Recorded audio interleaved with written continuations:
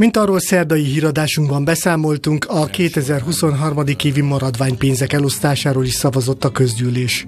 Juhász Tamás, a gazdasági iroda vezetője elmondta, ezúttal 1,2 milliárd forint be nem tervezett összegről kellett dönteni a 4,5 milliárdból. Kovács Satlós Tamás felvetette, hogy a színház finanszírozására forrásokat csoportosítsanak át az EGRI közszolgáltatások városi intézményétől, a Vármúzeumtól és az önkormányzattól, mintegy 10-10 millió forint értékben. Parkas Attila úgy fogalmazott, az EGRI-től már korábban 100 milliót vont el a közgyűlés, ezért a közszolgáltatások fenntartása nem könnyű.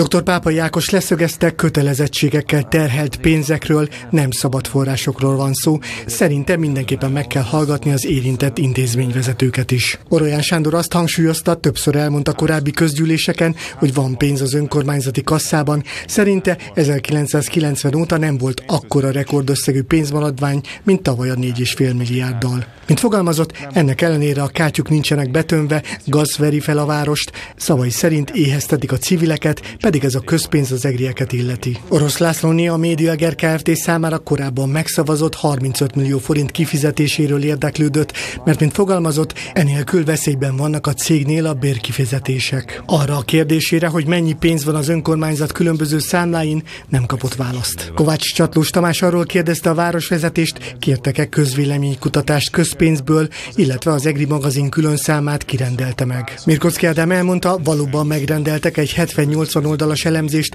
amelynek nem volt politikai célja, kizárólag beruházásokról kértek visszajelzést, mint egy 3 millió forint értékben. A polgármester az EGRI magazinról nem tudott nyilatkozni. A maradványok felosztását a Kovács Csatlós Tamás által a színháznak kért 40 millió forintos módosítással elfogadták, azonban az intézményektől elvont maradványösszegek felosztását nem szavazta meg a testület. Sehogy nem A 2023. évi zárszámadásáról és a központi támogatások elszámolásáról szóló önkormányzati rendelettervezetet is tárgyalta a grémium. A képviselők a Sas utca felújításával kapcsolatban kérdezték a városvezetőket. Mincer Gábor képviselői felvetése elmondta, valóban későn kezdődött a munka, de szerinte elég jó lett a kivitelezés, az egriek szép új területen közlekedhetnek, és a projekt mintegy 80%-át is elszámolták.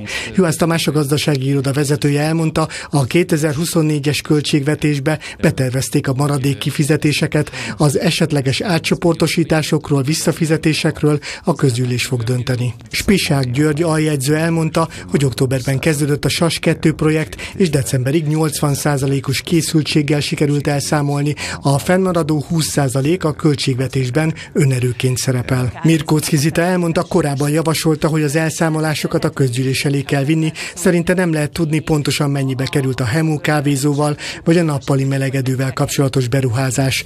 A polgármester úgy reagált, az irányító hatóságnak tartoznak elszámolással, melynek szigorú feltételei vannak. A Lenkei ház felújításával kapcsolatban Orosz Lászlóné arról érdeklődött, hogy szabálytalansági gyanú bejelentése történhetette a 60 millió forintos eszközbeszerzéssel kapcsolatban. Juhász Tamás erre azt válaszolta, szabálytalansági eljárásról nincs tudomása, de erről a Vármúzeumot kérdezzék.